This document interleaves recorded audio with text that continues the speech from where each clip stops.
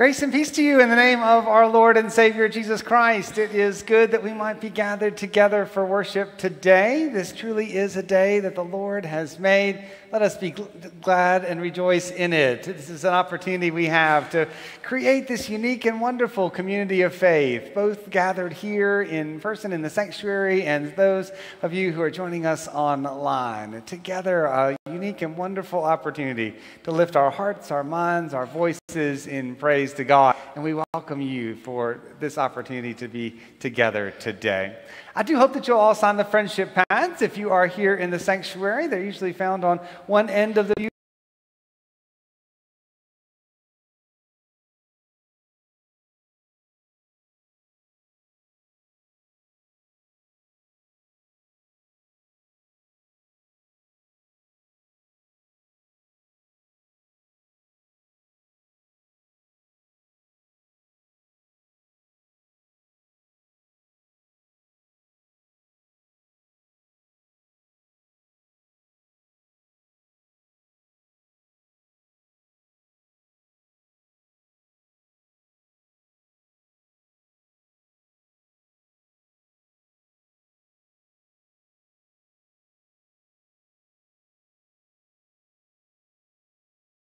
in our yellow safety protocols uh, with community transmission levels. Which here in the sanctuary means you'll see every other pew on the side sections marked off to provide a little extra space for those who might desire that as we've gathered to worship together.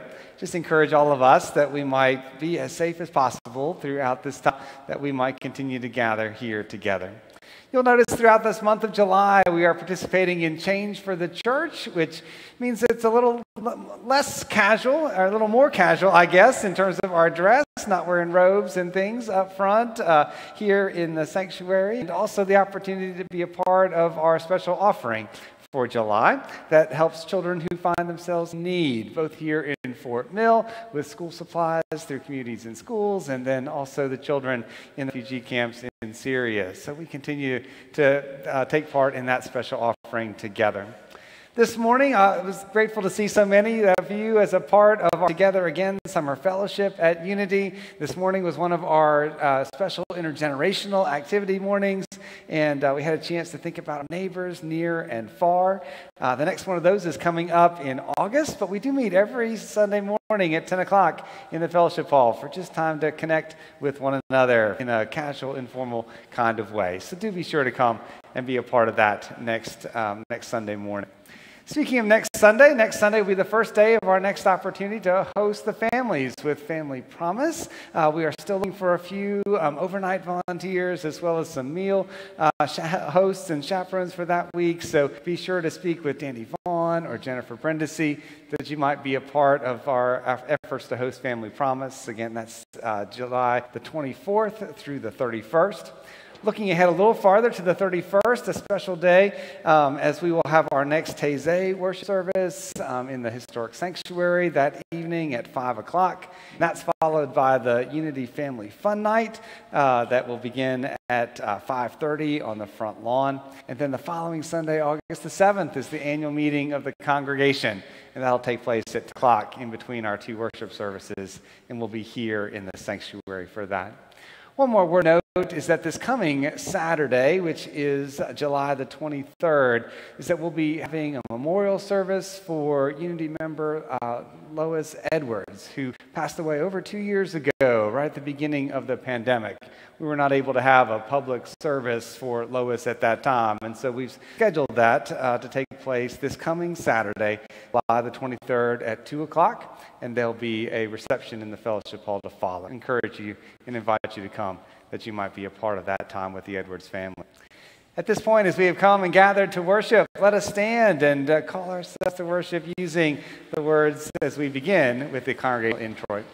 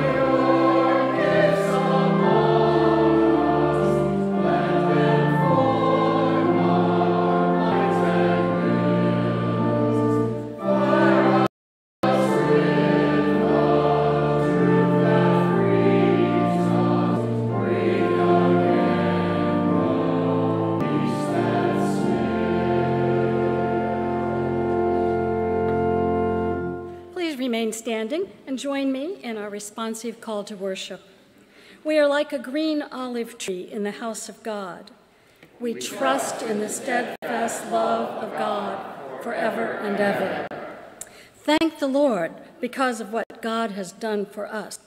In the presence of the faithful, we will proclaim God's name, for it is good. Together, let us worship the living God.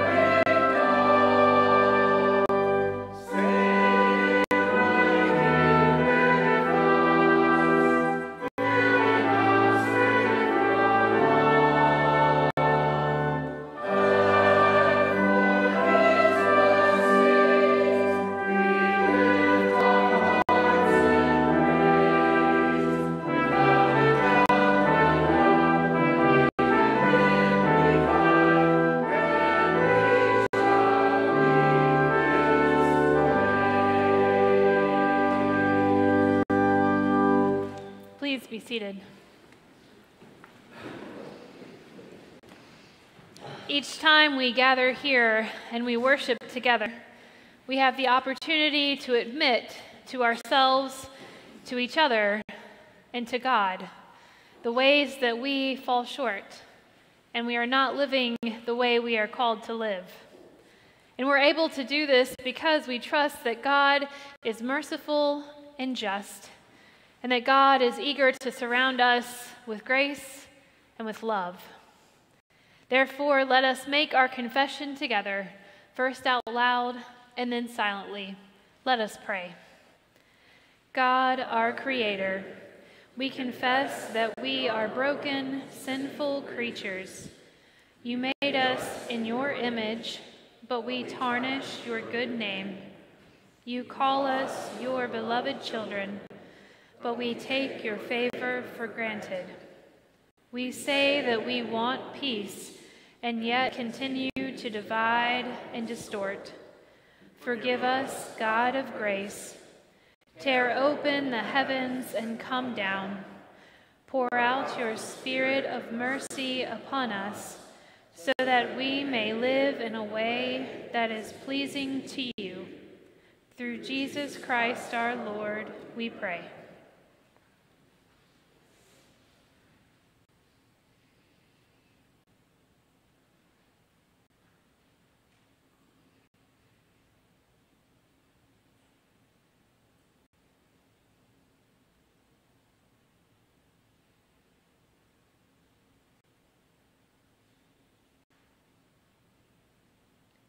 Amen.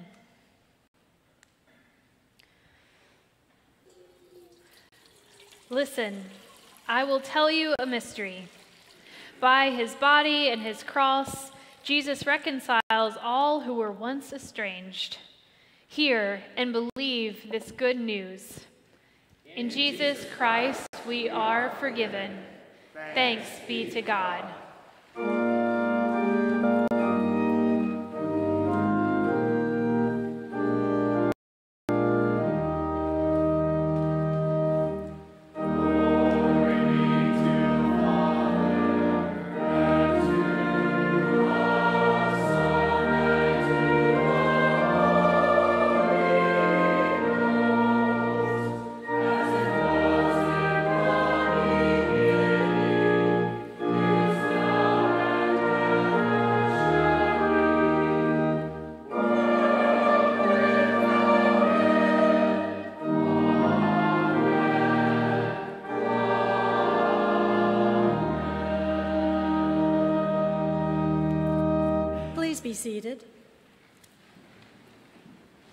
Our first scripture reading is Genesis chapter 8, verses 6 through 12. We join the story of Noah as he, his family, and the animals float upon the waters of the great flood. But the rain is finally stopped. Let us hear the word of the Lord. At the end of 40 days, Noah opened the window of the ark that he had made and sent forth a raven it went to and fro until the waters were dried up from the earth. Then he sent forth a dove from him to see if the waters had subsided from the face of the ground. But the dove found no place to set her foot, and she returned to him, to the ark, for the waters were still on the face of the whole earth. So he put out his hand and took her and brought her into the ark with him. He waited another seven days, and again he sent forth the dove out of the ark. And the dove came back to him in the evening, and behold, in her mouth was a freshly plucked olive leaf. So Noah knew that the waters had subsided from the earth. Then he waited another seven days and sent forth the dove, and she did not return to him any more. This is the word of the Lord. Thanks be to God. At this time, let me invite our young friends, the children, to come and spend a few moments together here on the carpet by the steps. If you are at home watching us, I hope that you'll draw near to the screen so that you might be a part of this special time together as well.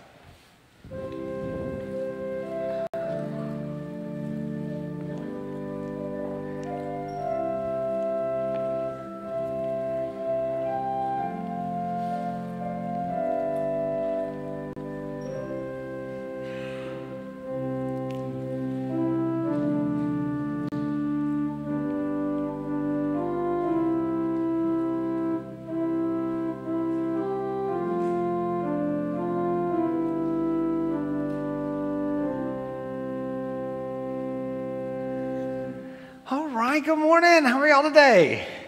Good. It is good to see you. Thank you so much for coming up this morning. It is always a better day in worship when you are here. So thank you so much for coming to be a part of our service today. Now, the scripture text that we just heard was about Noah and his family while they were floating on the ark, right? Yeah. And guess what they were doing while they were floating there on the waters in the ark? They were just kind of waiting, right? Yeah, just kind of waiting. Do y'all like to wait? No, not really. I know, I know, me neither. Like, say, you know that it's almost time, like in a couple days, it's going to be time to go on vacation, but it's not time yet, so you got to wait. How's that feel? Not so good, huh? No. How about like if you're in line at the grocery store with your mom or your dad and they've got a great big order, a whole cart full of things, and you've got to wait while they get all checked out? Is that very fun? No, not really. That's right. So, yeah. How about when, um, do you ever have to wait after dinner before you can have dessert? Yeah, that's right. So, so that's not very fun either, is it?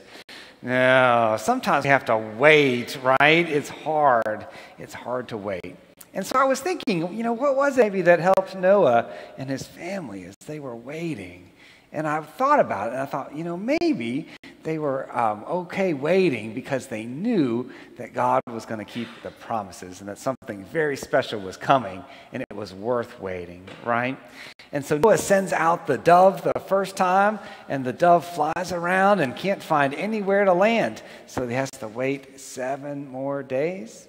And then he puts the dove out again, and this time, do you remember what happened when the dove came back? He had a, Uh, a, a, uh, leaf, right, from an olive tree. So it reminded Noah, guess what? We don't have to wait very much longer. We've got hope because the waters are starting to recede, and it's going to be able, we're going to be able to get out of this ark soon. So they waited another seven days, and he sent the dove out the third time, and this time the dove didn't come back because the waters had receded, and they, he knew that it was going to be time to get out of the ark very, very soon.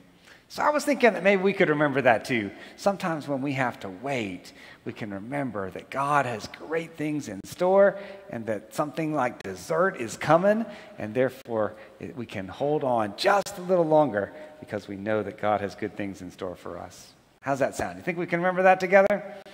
All right. Well, let's pray a little bit, and I'll pray first, and y'all can repeat after me, okay? Dear God, Dear God we thank you for the Holy Spirit, the Holy Spirit and, for doves. and for doves. Help us, Help us when, we have to wait, to know that you will always. Keep your promise. Amen. All right. Thank you all so much for coming up today. If you are headed to nursery or children with worship, you get to go with Miss Meredith and a bunch of friends out in the hallway today, and we will surround you with our song of blessing.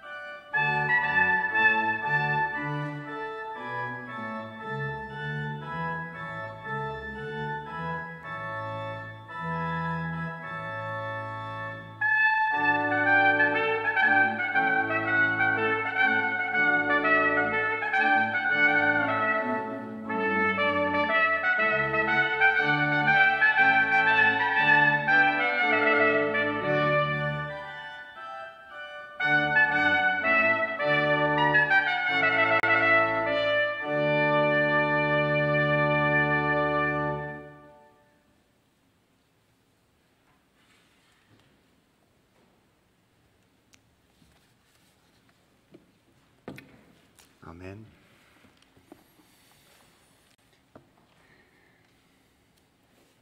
For the months of uh, June and July here at Unity Presbyterian Church, we are exploring the Holy Spirit in a series that we're calling Empowered by the Spirit. And each week we will encounter the Spirit through a different biblical image. And today we find the Spirit and the dove. Throughout Scripture, we find references to doves or turtle doves. They were an important part of the sacrificial system in the Jerusalem temple. We heard in our first reading the Genesis account of Noah sending forth a dove from the ark to determine if the waters of the flood had started to recede. However, the most explicit reference to the Holy Spirit and the dove we find is in the accounts of Jesus' baptism. So, for our second reading this morning, let us hear God's word to us. It's recorded in the Gospel of Mark, chapter 1. We'll read verses 9 through 11. Let us hear this word of God. In those days, Jesus came from Nazareth of Galilee, was baptized by John in the Jordan. And just as he was coming up out of the water, he saw the heavens torn apart and the Spirit descending like a dove on him. And a voice came from heaven You are my Son, the beloved. With you I am well pleased. This is the word of the Lord. Thanks be to God. Let us pray as we sing together.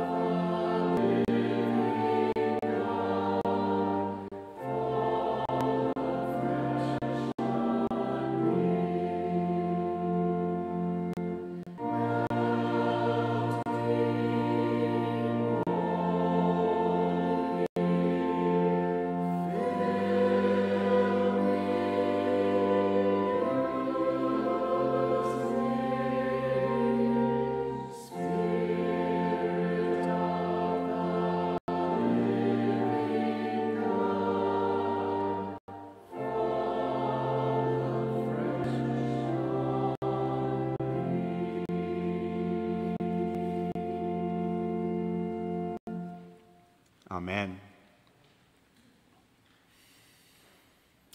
I'm going to tell you something in just a minute that you might not be able to forget.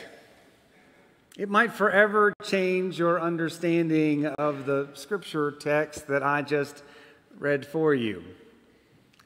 Now, I recognize that's a pretty big claim, and this may be something you don't particularly want to know.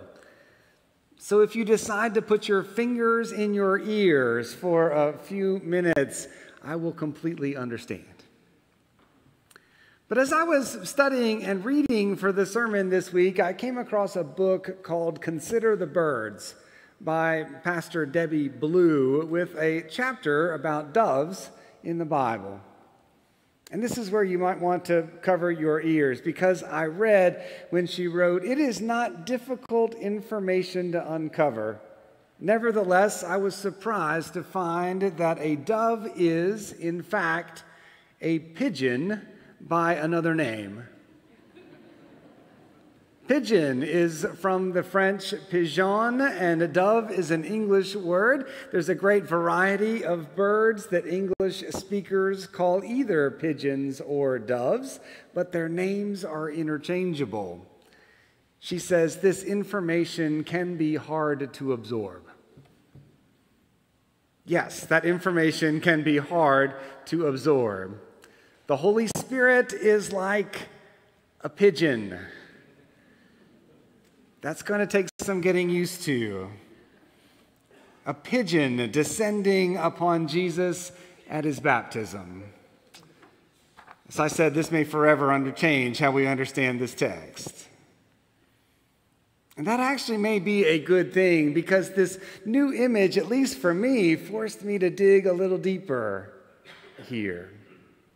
Yes, there's a lot more going on in this text than just a little water, an affirmative voice, and a cute bird landing on Jesus' shoulder.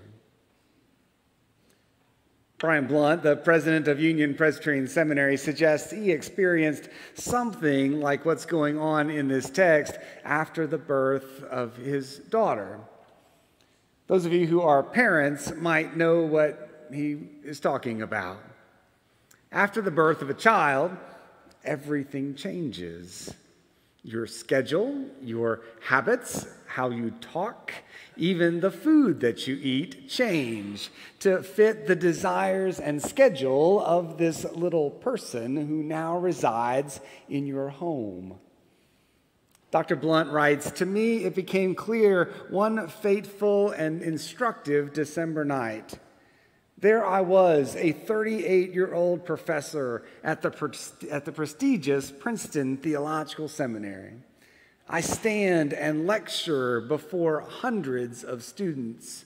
I stand and preach before great congregations. And yet there I was, crawling on my hands and knees across the carpet of her bedroom floor like a scared rabbit in a futile attempt to escape before she opened her eyes and found me out and sounded her personal piercing cry of alarm. We couldn't domesticate her, he says. We couldn't get her to sleep when we wanted. We couldn't get her to eat like we wanted. A mind bending, life altering, change your ways kind of force had gotten loose and was running amuck in our lives.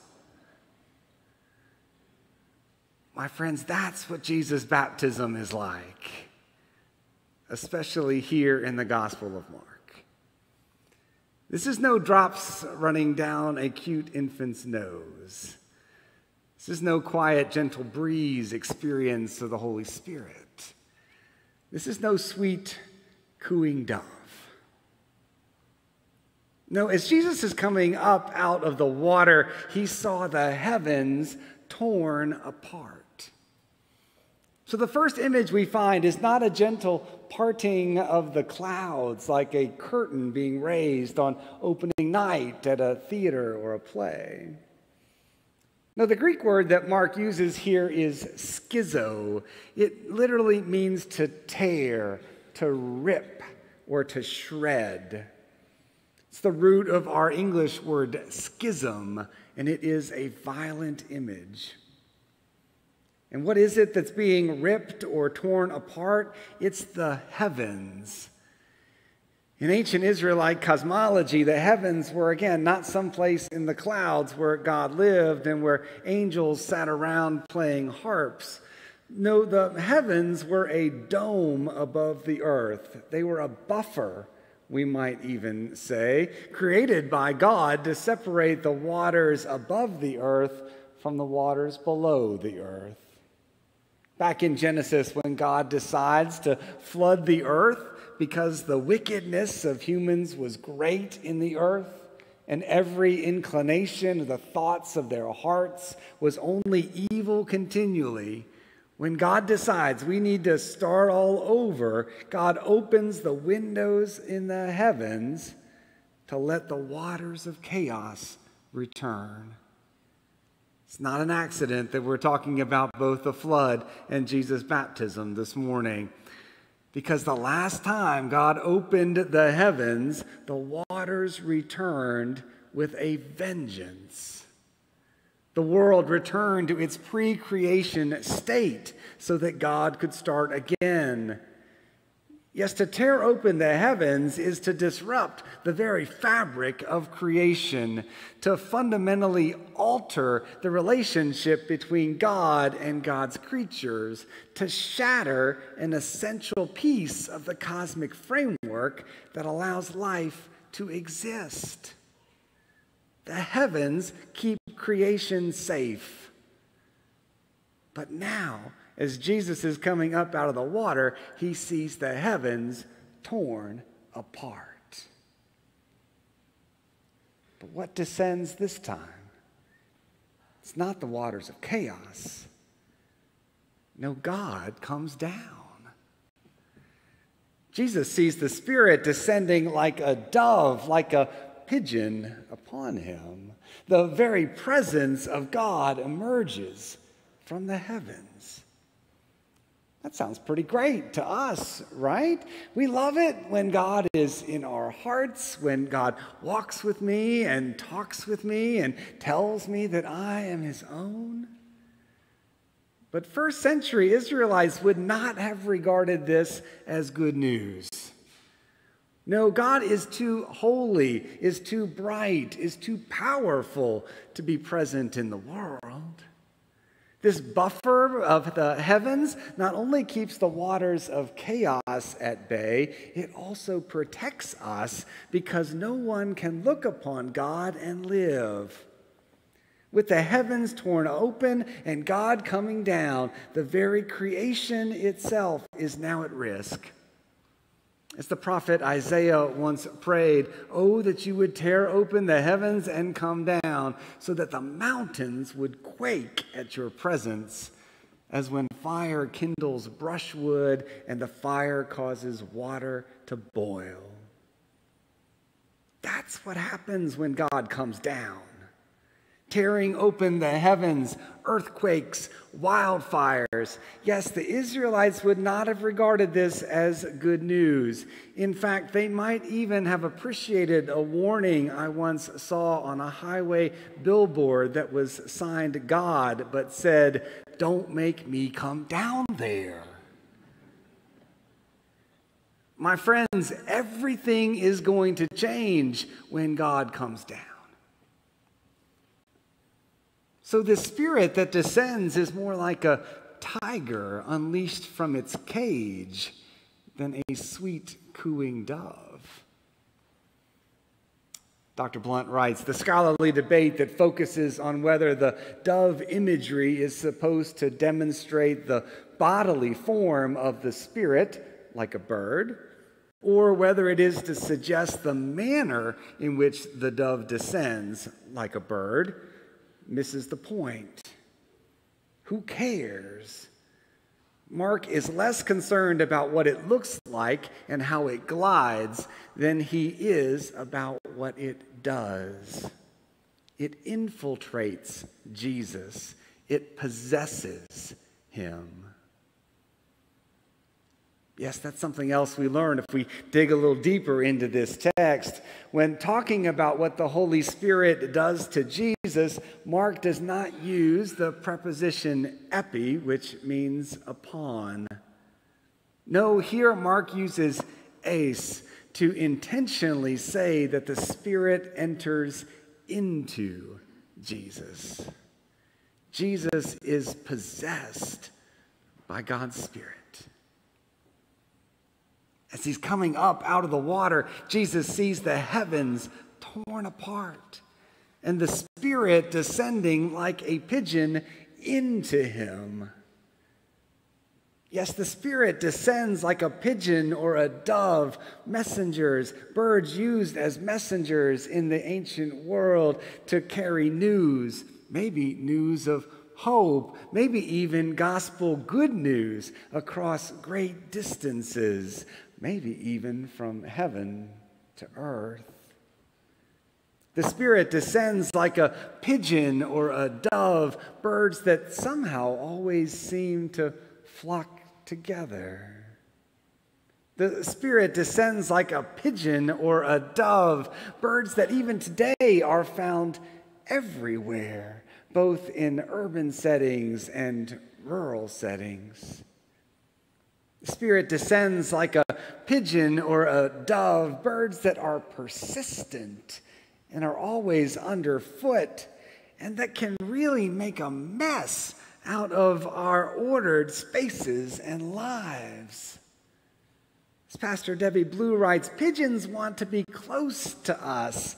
They are where we are in some of the worst places that we have made, our neglected projects and abandoned buildings, and some of the best art museums, parks, Rome's piazzas, they won't leave us alone. That's the kind of spirit, the very presence of God that possesses Jesus. It's kind of spirit that's not going to leave the world alone, the kind of spirit that is going to address the great wickedness of humans in the earth, the evil inclinations of their hearts, but not with fire and brimstone and flood. My friends, know this spirit is going to bring peace not by singing kumbaya around a campfire, but with a flood of love that confronts the powers and principalities of this world on a cross. Creating peace by giving his life for you and for me. This is the Spirit of God that does not land gently on Jesus' shoulder. This is a Spirit of God that possesses Jesus. Remember, later his family is going to think that he is crazy. It's the beginning of a new creation. God is here with us, and nothing, nothing in heaven or on earth will ever be the same. My friends, the heavens are torn open. God has come down. The Spirit is unleashed in the world, and not just in Jesus, but in you and in me, in this church, in this community. Something new and life changing is happening here. And so I leave you this morning with words of the writer Annie Dillard, who said, Why do people in church seem like cheerful, brainless tourists on a packaged tour of the absolute? Does anyone have the foggiest idea what kind of power we so blithely invoke? Or, as I suspect, does no one believe a word of it? The churches are children playing on the floor with their chemistry sets, mixing up a batch of TNT to kill a Sunday morning. It is madness, she says, to wear ladies' straw hats and velvet hats to church. We should all be wearing crash helmets. Ushers should issue life preservers and signal flares. They should lash us to our pews. For the sleeping God may awake someday and take offense, or the waking God may draw us out to where we can never return.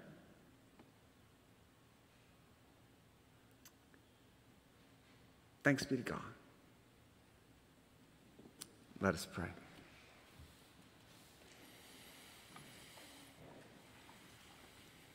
God, tear open the heavens and come down.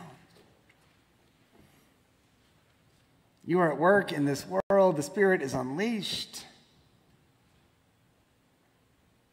Inspire us, challenge us, change us so that we might join and be a part.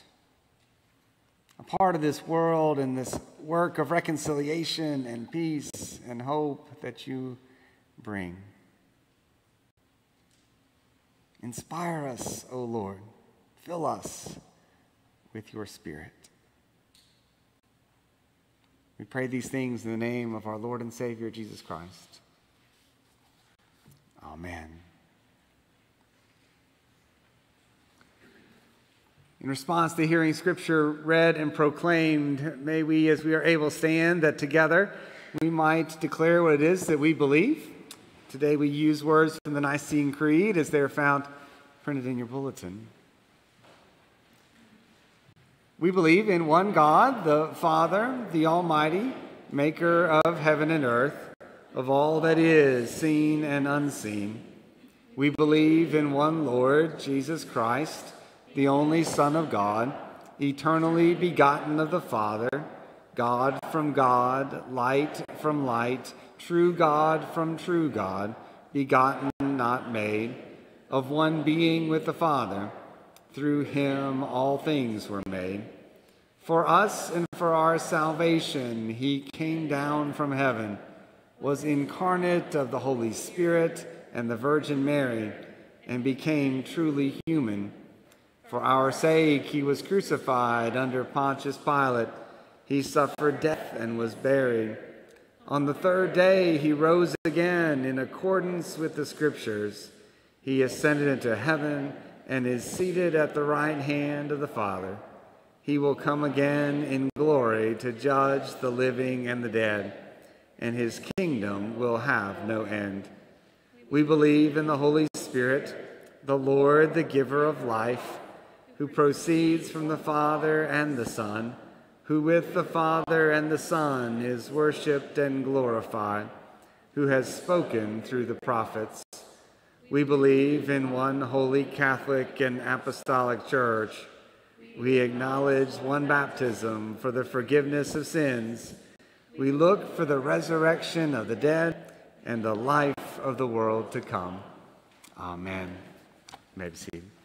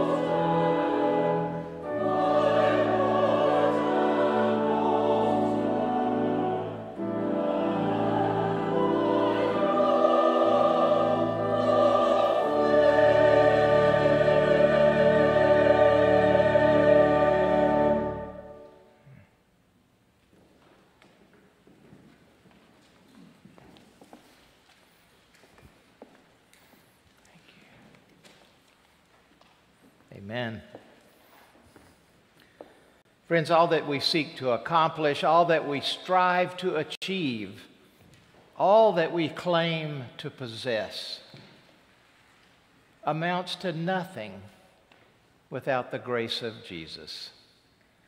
And because the grace of Christ has been poured out so abundantly in our lives, let us now respond by bringing to God the tithes and the offerings of our hearts and of our hands. We invite you to prayerfully consider making a financial contribution to the undergird and expand the transformative ministries of this church here and beyond these walls. There are many ways you can give. You can use the QR code in your bulletin, you can give online, you can mail your gift, you can leave it in the box by the historic sanctuary, or leave it in the offering plates that are in the narthex as you leave worship this morning. But as we have so freely received, let us also freely give.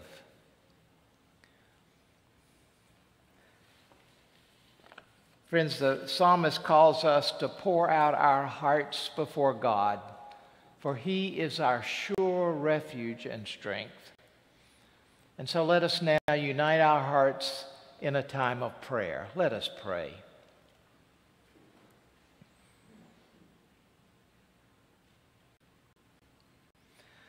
Holy Spirit, when Jesus came up out of the waters of baptism, the sky lit up with the voice of the Father.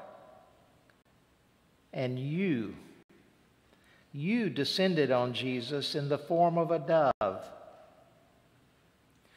You descended not as an eagle, powerful and regal, not as a hawk, keen eyed and quick, not as a sparrow, flitting to and fro, but a dove you descended on Christ as a meek bird, the sort of bird that the poorest of the poor could afford to sacrifice in a temple. You descended with wings full of peace and hope, too, like the dove that returned to Noah after six weeks of relenting rain, with a sprig of olive in her beak, extending the hope of life once again. When you descended on Jesus at his baptism, full meekness and innocence, you anointed him for ministry, not of royal power or military might, but of humility, hope, purity, and peace.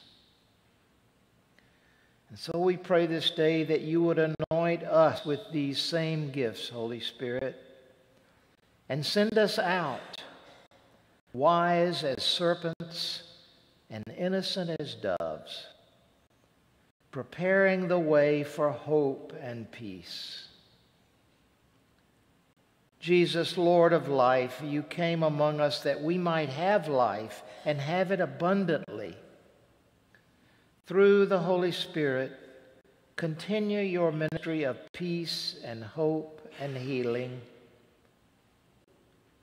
Hear us as we name in our hearts those of our family and friends who most need your healing touch. Deliver those who are captive to addictions of both mind and body Save those who are trapped in destructive and abusive relationships. Send us out. Send us out as your disciples to those who are lonely, who are broken, who are afraid, who hunger and thirst for your good news. Hear us as we continue to pray with one voice the prayer that Jesus taught us Our Father, who art in heaven, hallowed be thy name. Thy kingdom come, thy will be done, on earth as it is in heaven. Give us this day our daily bread, and forgive us our debts as we forgive our debtors. And lead us not into temptation, but deliver us from evil. For thine is the kingdom, and the power, and the glory forever. Amen.